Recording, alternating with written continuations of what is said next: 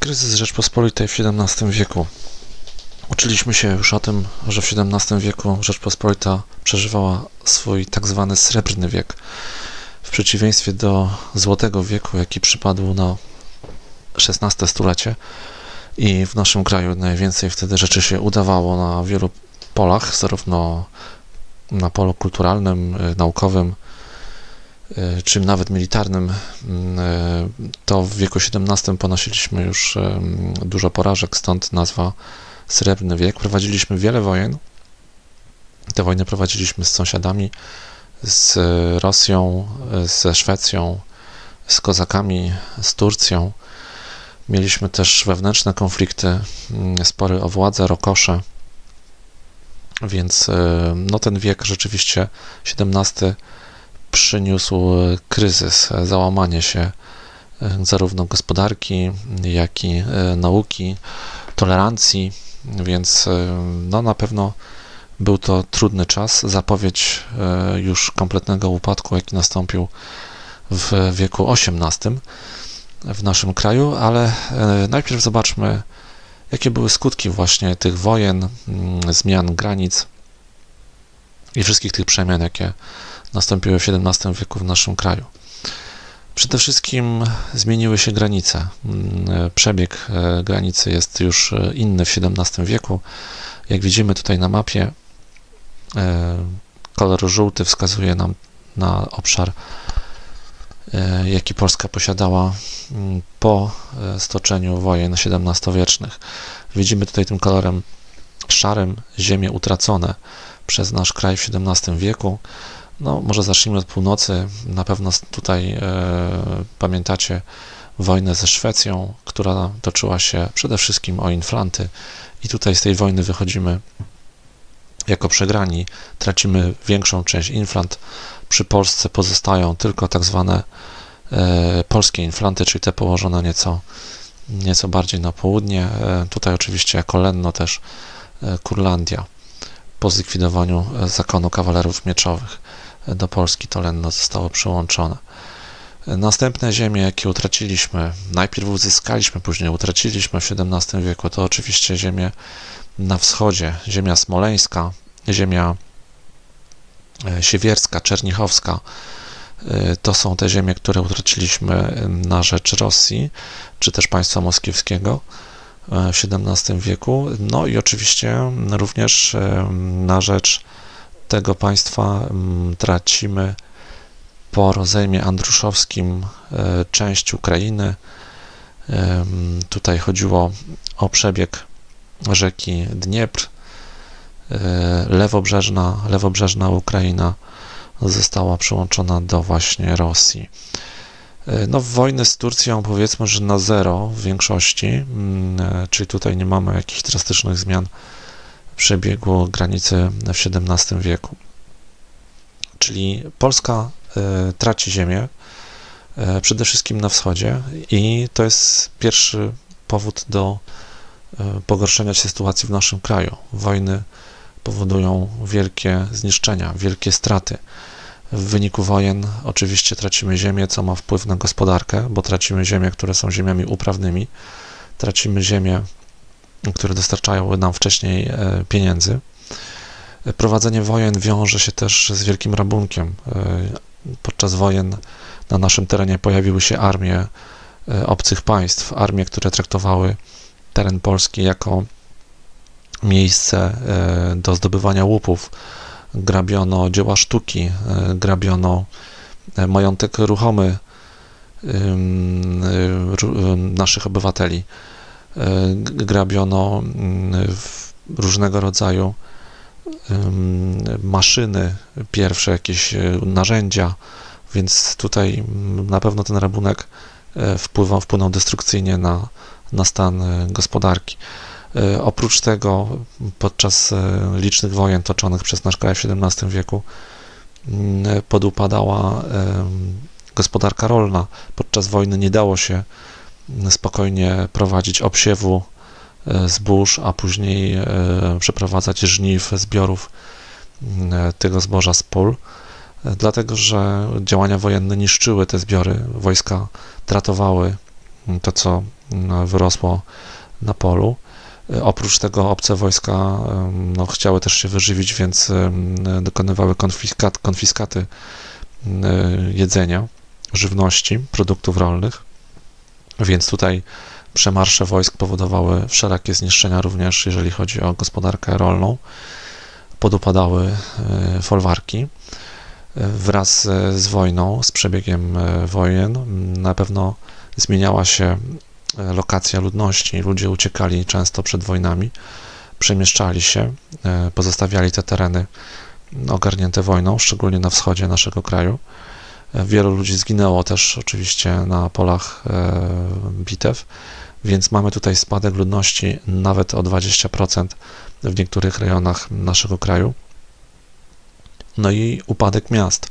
Wiele armii obcych krajów, które znalazły się w Rzeczpospolitej, dokonywały wielkich zniszczeń w miastach, rabunku, dorobku mieszczan. E, te miasta się wyludniały również. E, te miasta upadały z powodu upadu handlu, upad, upad, e, upadku handlu, upadku rzemiosła. Mieszczanie szukali dla siebie schronienia, porzucali swoje domy, porzucali swoje warsztaty. Wiele miast wyludniło się w związku z tym. Mm, ale jak to zwykle bywa, jeżeli ktoś traci, to ktoś inny zyskuje. Takim miastem, które zyskało na tych wojnach, z pewnością takim miastem e, była Warszawa, dlatego że e, kiedy doszło do, do upadku w pewnym sensie znaczenia takich miast jak Toruń, czy miasta właśnie z Pomorza, e, czy ze wschodniej Polski, no to inne miasta zyskały, te, które obronną ręką wyszły z wojen i takim miastem właśnie była Warszawa, która jako stolica Polski od końca XVI wieku, w XVII wieku właśnie zaczęła, zaczęła e, się umacniać na mapie politycznej i gospodarczej naszego kraju. Tutaj obronną ręką też wyszedł Gdańsk z tego wieku XVII, z tych zniszczeń wojennych przetrwał, no, jego lokalizacja nad morzem port, duże znaczenie dla gospodarki sprawiły, że nie zaszkodziły wojny temu miastu i Gdańsk ciągle mm, mógł się szczycić tym, że mm, w jego mieszkańcy prowadzą dosyć dostatnie życie. Oczywiście ci, ci najbogatsi, ci kupcy, którzy wcześniej i przed wojnami również odgrywali wielkie znaczenie. Y, oprócz takich y, skutków typowo właśnie związanych z prowadzeniem działań wojennych, mamy też skutki społeczne tychże wojen, na przykład epidemie. Pojawiają się wówczas w XVII wieku choroby, które zostały przeniesione przez, przez żołnierzy z zagranicy. Zresztą e, kiepskie wyżywienie podczas, podczas wojen, przeciągających się wojen, bo przecież wieloletnich, e, niedostatek pieniężny, e, to wszystko sprawiało, że ludzie nie dbali o to zdrowie albo nie mogli dbać po prostu najzwyczajniej. Słabe, niedożywione organizmy ludzkie były podatne na różnego rodzaju infekcje, choroby. W związku z tym te choroby się szerzyły w znacznie szybszym tempie niż w czasie e, pokoju i dziesiątkowały e, też mieszkańców naszego kraju. E, kolejnym takim sprawcą nieszczęścia był głód. Głód, czyli właśnie brak dostępu do jedzenia, powodował śmierć, powodował niedożywienie, osłabienie, zmniejszał też możliwość podjęcia pracy przez wielu ludzi. Więc e, no, to też jest dosyć ważny skutek wynikający mm, z prowadzonych wojen, który destrukcyjnie wpłynął na kondycję naszego narodu w XVII wieku. Do tego trzeba dołożyć sprawę mm, klimatyczną. Mówi się o tym, że w XVII wieku mamy w Europie tak zwaną małą epokę lodowcową, czyli radykalne ochłodzenie klimatu, kilkadziesiąt lat, w których zima się bardzo wydłużyła e, i to wszystko sprawiło, że znowu tego jedzenia było mniej. Zboże e, zasiane marzło, nie dawało tak e, wielkich planów jak w wieku chociażby XVI. W związku z tym ten zimniejszy klimat, ten czas właśnie dłuższych mrozów i, i, i większych mrozów też negatywnie wpłynął na, na stan naszej gospodarki, no i też na możliwość właśnie mm, zdobywania jedzenia. E, małe plony, które były konsekwencją tego, co, co wcześniej powiedzieliśmy już, no, sprawiały, że mm, mieli problem właściciele folwarków, czyli, czyli szlachta. W dużej mierze szlachta średnia, szlachta zagrodowa, czyli te dwie środkowe, powiedzmy, że grupy w stanie szlacheckim. Środkowe, czyli te takie, no nie najbogatsze, nie najbiedniejsze, prawda, bo mamy jeszcze do tego magnaterię i gołotę y, jako skrajne grupy. Magnateria najbogatsza, gołota już kompletnie uboga, więc szlachta średnia i szlachta zagrodowa y, odnotowywała w XVII wieku bardzo niskie plony w swoich majątkach ziemskich, w swoich folwarkach. To sprawiało, że y, popadały te folwarki sukcesywnie w ruinę. Ubożała ta szlachta średnia i zagrodowa. W związku z tym mm, pojawiał się, pojawiał się problem e, ekonomiczny w naszym kraju. To wszystko przełożyło się na kryzys gospodarczy, czyli no, zmniejszenie, zmniejszenie znaczenia naszej gospodarki, mm, oczywiście narastająca bieda, regres gospodarczy, więc to wszystko Mm, było, składało się na ten negatywny obraz naszego kraju walczącego na wielu frontach w XVII wieku. To są te powiedzmy, że wewnętrzne przyczyny kryzysu gospodarczego w naszym kraju, ale są też przyczyny zewnętrzne, takie, które wynikają z tego, co się działo w innych krajach. Mam tutaj na myśli przede wszystkim Europę Zachodnią. Europę, która po tym wielkim prosperity związanym z e, odkryciami geograficznymi przepadającymi na XV-XVI wiek, po tym e, zachłyśnięciu się, nasyceniu rynku europejskiego produktami przywożonymi z Ameryki, w XVII wieku e, ta sytuacja gospodarcza w Europie Zachodniej zaczęła się zmieniać. Była już zupełnie inna w połowie tego wieku, dlatego że mamy kilka takich wydarzeń, które zdecydowały o takiej sytuacji. Po pierwsze, mamy spadek wartości pieniądza, inflacja e, spowodowana przywiezieniem do Europy e, ogromnych e, złóż złota, znaczy złóż ogromnych ilości złota, złóż nie przywieziono, tylko samo złoto, E, to złoto zachwiało systemem finansowym Europy, opartym właśnie na złotych i srebrnych monetach. Więc wielka inflacja sprawiła, że, że odnotowano spadek wartości pieniądza. W związku z tym e, no, wzrosły ceny początkowo, mieliśmy rewolucję cen e, na produkty związane z rzemiosłem. Natomiast tania żywność przywożona z kolonii, z Ameryki, E, spra sprawiła, że e, odnotowano na zachodzie Europy spadek cen żywności. A pamiętajmy, że Polska w XVII wieku, tak samo jak w XVI, miała do zaoferowania e, zachodniej Europie przede wszystkim właśnie żywność, zboże, które było przecież naszym produktem eksportowym numer jeden. Więc tutaj spadek cen żywności na zachodzie sprawił, że przestało się opłacać produko, produkowanie tego zboża w Polsce w takiej ilości, jak, jaka, jaka była, jaką, jaką odnotowaliśmy w wieku XVI. Więc tutaj jest to kolejna, mm, e, kolejna rzecz, która negatywnie wpłynęła na stan naszej gospodarki. No i w końcu ten trzeci element, tutaj widoczny po prawej stronie na slajdzie, czyli wojna 30-letnia, która w latach 1618-1648 zaabsorbowała bardzo dużą część Europy, przede wszystkim właśnie zachodniej. E, wojna, która trwała długo, która doprowadziła do ruiny Rzeszę Niemiecką, e, która sparaliżowała szlaki handlowe w Europie, bo przecież podczas wojny kupcy rzadziej ryzykowali mm, e, podróż z towarem przez kilka granic, bo no, była, była duża szansa duże prawdopodobieństwo, że ten towar zostanie po prostu po drodze zrabowany. Więc wojna 30-letnia znowu zachwiała gospodarką europejską, znowu e, przyczyniła się do kryzysu e, gospodarczego ogólnoeuropejskiego, a odbił on się również na sytuacji naszego kraju jako jednego z elementów e, tego systemu gospodarczego Europy również w XVII wieku. Kolejny problem, jaki się pojawił e, jako skutek wojen, które prowadziliśmy w XVII wieku, to problem egzulantów. Egzulantami nazywano osoby, które porzucały swoje majątki ziemskie, porzucały swoje dobra i uciekały przed e, nadchodzącym frontem, przed nadchodzącą wojną, nadchodzącymi wojskami obcych państw. E, ci ludzie, którzy przed wybuchem wojny byli całkiem nieźle sytuowani, albo nawet dobrze sytuowani, posiadali jakieś swoje źródło utrzymania, jakieś własne majątki ziemskie, w wyniku wojen tracili swoje źródło dochodu, uciekali, ratując życie, natomiast porzucali to, na co pracowali przez, przez całe życie, albo to, co odziedziczyli po swoich przodkach.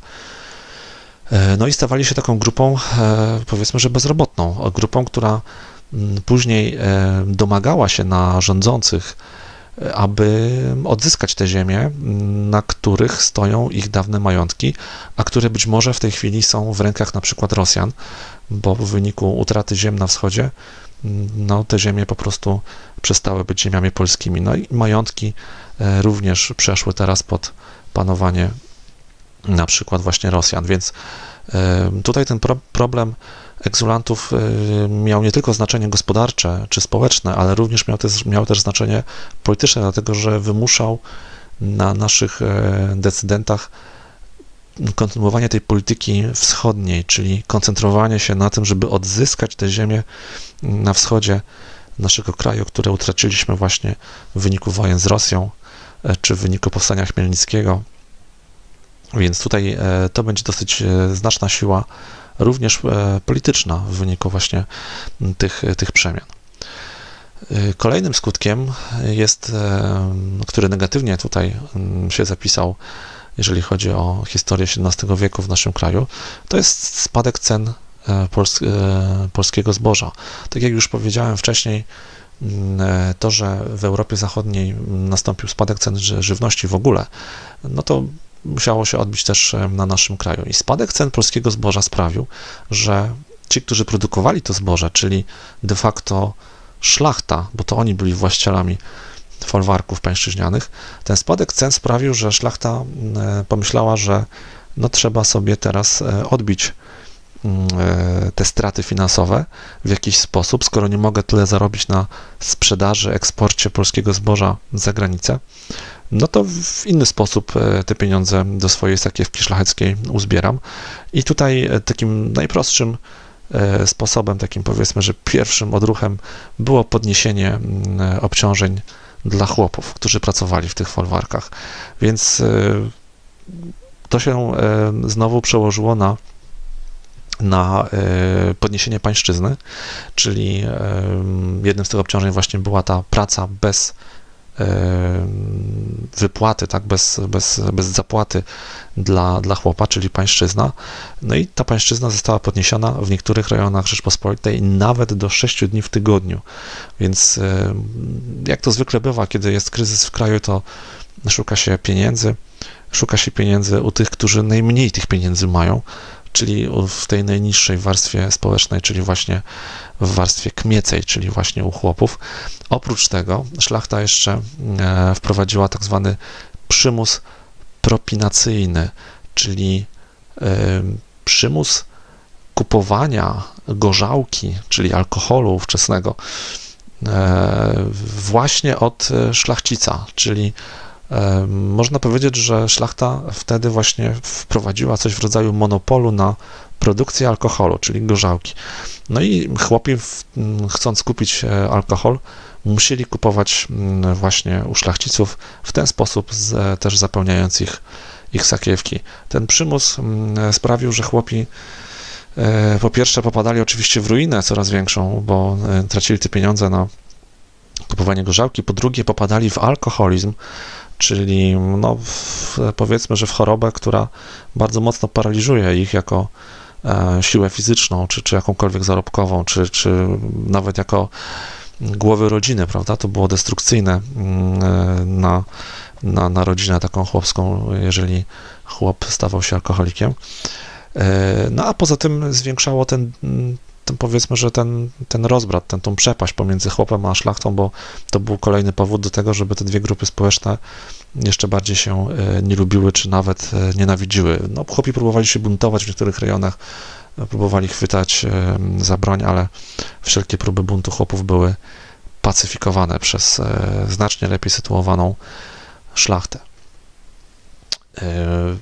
Kolejnym skutkiem tych wszystkich przemian, o których mówimy, e, też tych e, przemian związanych z kryzysem mm, gospodarczym, było e, rozwijanie się latyfundiów. Latyfundia pojęcie, które już powinniśmy kojarzyć, bo już w starożytności, w starożytnym Rzymie takie pojęcie funkcjonowało.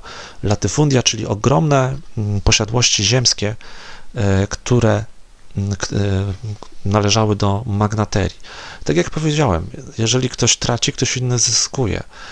Jeżeli szlachta średnia i szlachta zagrodowa miała problem związany z kryzysem gospodarczym w Europie i w Polsce, ich folwarki podupadały, przychodzili magnaci w to miejsce, którzy mieli dużo pieniędzy i wykupywali e, te folwarki, gromadzili w ten sposób ogromne ilości ziemi, no i też chłopów mieszkających na tych ziemiach i w ten sposób tworzyli właśnie latyfundia, czyli te ogromne majątki e, ziemskie. Tutaj mm, można zobaczyć mapę, która pokazuje tymi kolorami e, czterema, które w legendzie mamy opisane, latyfundia czterech tutaj e, najważniejszych takich rodów, no więcej, tak, niż czterech, bo tutaj mamy trzy rody pod jedną barwą, czyli tych kilku rodów magnackich naj, najważniejszych w XVII wieku.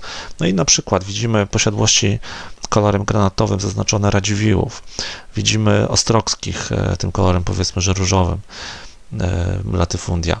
Widzimy latyfundia zamojskich kolorem zielonym, jak są rozsiane naprawdę w różnych miejscach naszego kraju ówczesnego. No i ostatnia barwa to latyfundia e, wiśniowieckich, e, zbarskich na przykład. Więc tutaj te, te, te rody magnackie rzeczywiście e, no, zdobywały ziemię, zdobywały latyfundia, zdobywały często za bezcen ogromne y, obszary, które jeszcze bardziej umacniały te rody właśnie, jeżeli chodzi o gospodarkę, o ich pozycję w gospodarce oraz ich pozycję polityczną też wzmacniały, bo wiadomo, że wówczas kto miał więcej y, pieniędzy, ten mógł y, większą rolę odgrywać w państwie. Zresztą to się chyba niewiele zmienia w naszych czasach. Myślę, że jest często podobnie. Czyli tutaj widzimy ogromny zysk polityczny czy gospodarczy właśnie magnatów, czyli tej mało licznej, ale bardzo bogatej grupy e, społecznej, wywodzącej się z, oczywiście ze stanu szlacheckiego, tych e, najbogatszych właśnie szlachciców sprawujących najważniejsze urzędy w państwie. No i tutaj warto też takie pojęcie sobie zapamiętać, ordynacja magnacka. Ordynacje magnackie to są właśnie te dobra magnackie, te ziemie, majątki magnackie, które zabezpieczano przed podziałem, po to, żeby one nie zostały rozproszone, podzielone na mniejsze części i rozdzielone jakimś tam potomkom, e, tworzono tak zwane ordynacje, czyli takie majątki, których nie wolno było podzielić. Nie, nie było e, prawa takiego, które by umożliwiało podział takiego majątku. Dzięki temu te e, ordynacje magnackie mogły przetrwać e, kolejne dziesięciolecia w danym rodzie w nieuszczuplonej postaci, czyli bez żadnych zmian. Tutaj, jeżeli chodzi o powiedzmy, że zasięg tego, tego, tego terytorium magnackiego, tego, te, tego majątku magnackiego. Jeszcze innym skutkiem tego wzrostu potęgi magnaterii mm, w XVII wieku było zjawisko e, magnackiej klienteli. Otóż e, tutaj mamy taki nawet obrazek, który pokazuje patrona i klienta. O co chodzi? Magnaci, ponieważ mieli bardzo duże wpływy polityczne, sprawowali najważniejsze urzędy w państwie, mieli dużo pieniędzy, mieli duże e, obszary, mm, powiedzmy, że rolne, no, byli rzeczywiście najważniejszym graczem na scenie politycznej. Ale powiedzieliśmy też, że część szlachty podupadła. Część e, tej szlachty średniej, zagrodowej, e, ci, którzy uciekali przed wojną, porzucali swoje majątki na wschodzie. Oni stawali się ludźmi, którzy no, nie mieli pomysłu na życie, nie mieli pieniędzy, nie mieli skąd brać te pieniądze, więc stawali się właśnie klientami dla magnatów. Co to znaczy? To znaczy, że stawali się osobami, którzy e, zwracali się do magnatów, czyli do swojego patrona, do, do magnata, czyli do patrona, zwracali się o pomoc, o opiekę. I magnat, jeżeli miał dobry humor e, i zapotrzebowanie polityczne, e, takiego właśnie szlachcica uboższego przyjmował pod, pod swój patronat, czyli ten uboższy szlachcic stawał się klientem tego magnata, czyli patrona.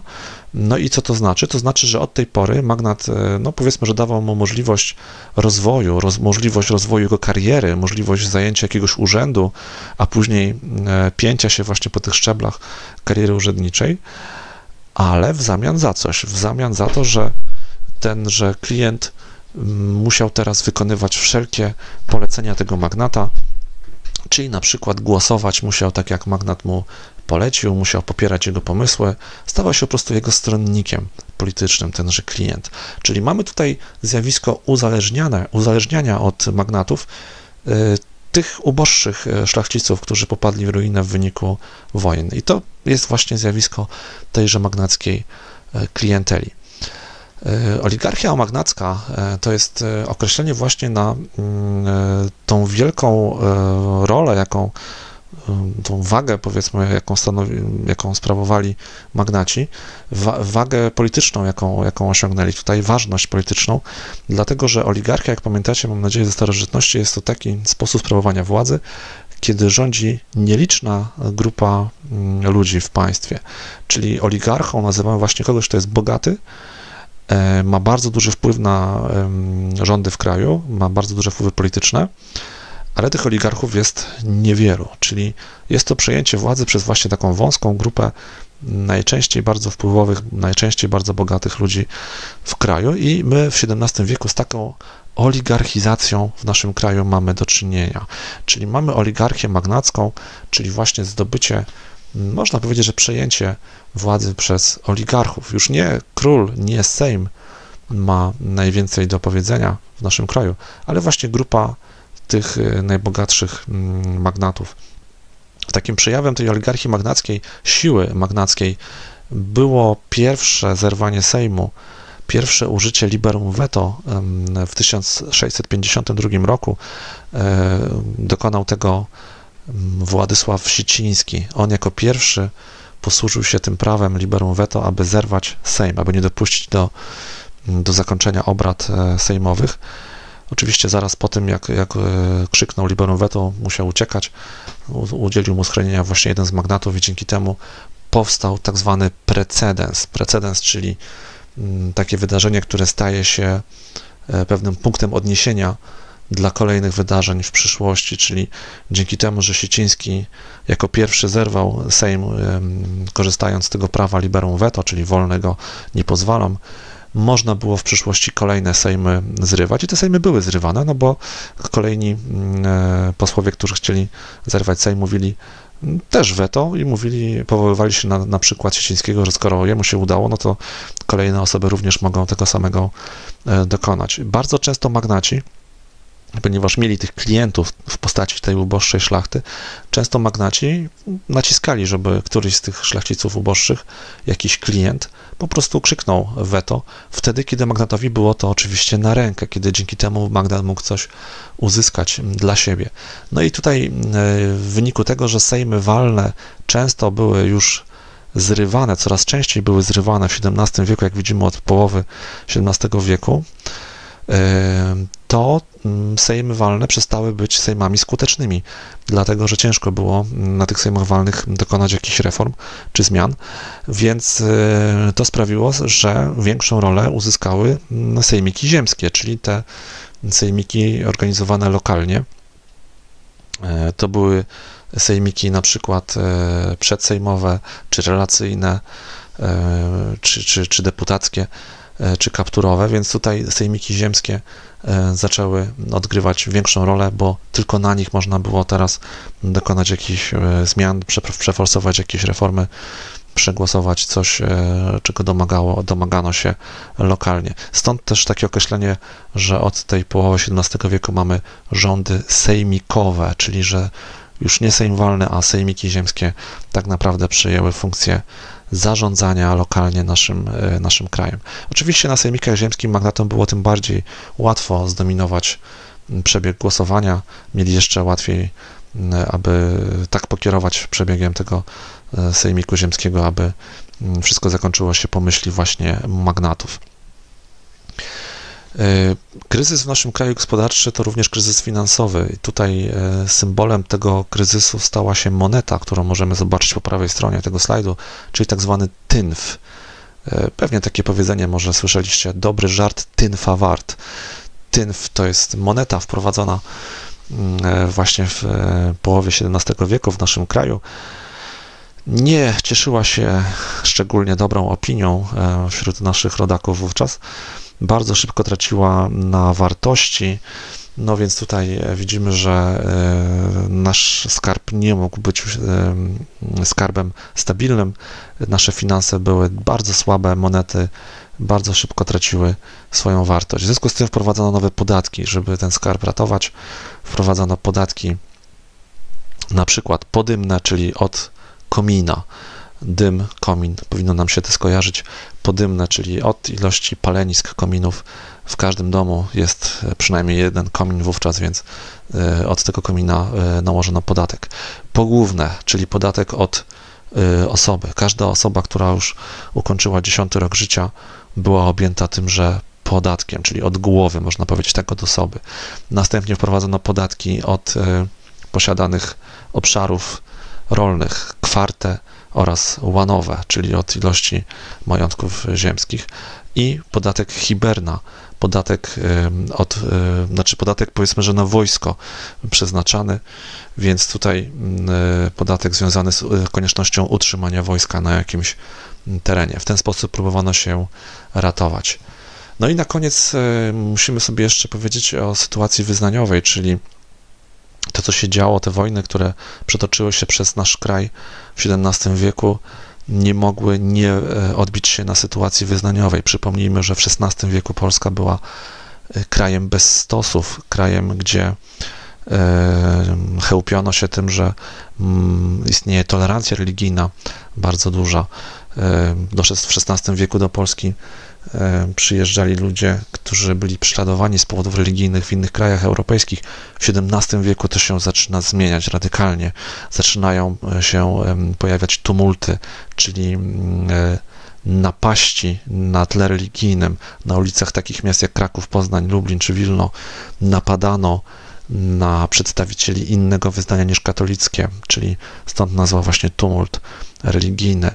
Następnie e, mamy likwidację zborów, czyli tych świątyń e, protestanckich, e, gmin protestanckich, między innymi słynny zbór w Rakowie, który na początku XVII wieku odznaczył się tutaj tym, że w Rakowie przecież powołano protestanci powołali do życia akademię, czyli ośrodek naukowy bardzo prężnie działający wówczas. Czyli tutaj protestanci zaczęli być nacenzurowanym. Dlaczego?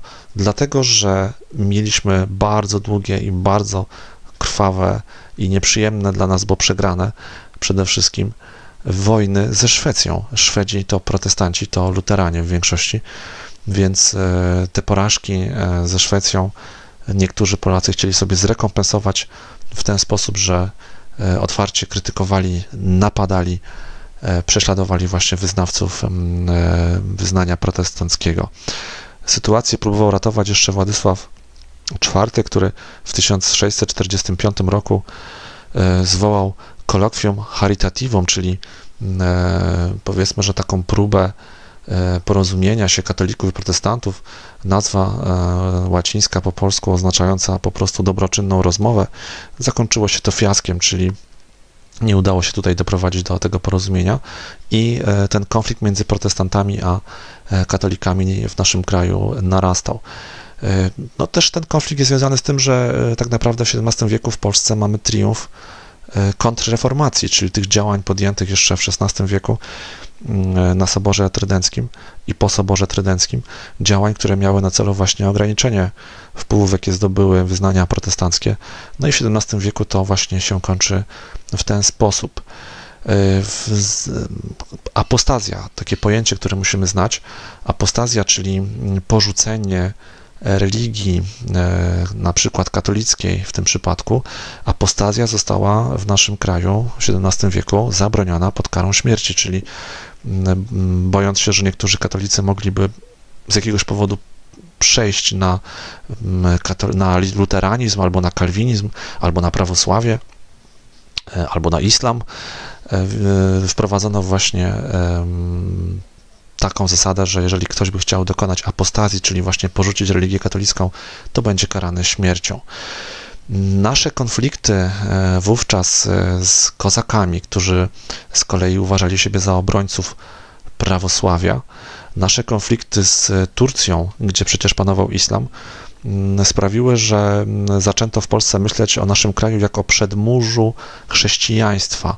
Przedmurze, czyli takie miejsce, które ma chronić, które ma być taką zaporą, ma sprawić, że chrześcijaństwo nie zostanie mm, zaatakowane skutecznie, nie zostanie zniszczone czy w jakikolwiek inny sposób e, zagrożone, to wszystko też e, wpłynęło właśnie na zanik tolerancji, czyli to przekonanie o tym, że Polska właśnie ma taki obowiązek obrony chrześcijaństwa, że jest tym przedmurzem chrześcijaństwa, no odbiło się na, na właśnie na wyznawcach innych wyznań czy religii w naszym kraju. Również te sprawy związane z wiarą i z wojnami, które prowadziliśmy z innymi krajami, E, wpłynęły na sytuację mm, kościoła unickiego, e, czyli kościoła, który powstał z inicjatywy Zygmunta III Wazy w 1596 roku w wyniku Unii Brzeskiej. Przypomnę, część prawosławnych w naszym kraju zgodziła się podporządkować katolickiemu papieżowi i w ten oto sposób powstał kościół grekokatolicki, albo inaczej nazywany też kościołem unickim, czy też wyznanie unickie, od właśnie e, Unia Brzeska, tak? Unia Brzeska, czyli unici. Natomiast ci prawosławni, którzy nie przystąpili do Unii Brzeskiej, byli nazywani dysunitami. No i ten spór, e, ten konflikt pomiędzy jednymi a drugimi, unitami i dysunitami, na nowo wybuchł właśnie w wyniku mm, wojen prowadzonych na wschodzie w XVII wieku, między innymi właśnie w wyniku wojen prowadzonych z Rosją i z kozakami właśnie, więc e, sytuacja wyznaniowa również można powiedzieć, e, że wpisała się w sytuację e, ogólną naszego kraju, w kondycję ogólną naszego kraju, czyli mamy tutaj wielki, wielki kryzys.